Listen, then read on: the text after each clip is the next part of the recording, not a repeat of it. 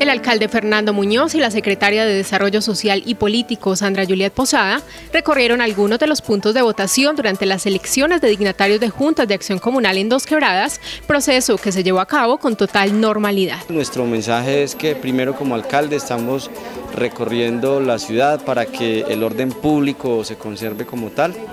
Y segundo, el mensaje es que la gente salga a votar masivamente y que sepan que es importante elegir la acción comunal de cada barrio, de cada vereda, pero que lo hagan libremente. Cabe anotar que estas son elecciones autónomas de las Juntas de Acción Comunal de Dos Quebradas, donde estuvieron acompañadas por la Federación de Acción Comunal de Risaralda, la Personería de Dos Quebradas y la Secretaría de Desarrollo Social. Estamos realizando un recorrido con el alcalde junto con con los miembros de la federación, todos los sitios de votación para revisar y verificar que haya un buen proceso, que se le estén dando garantías a todas las personas. Es importante que este proceso se lleve con calma y con toda transparencia para que se logre el objetivo esperado.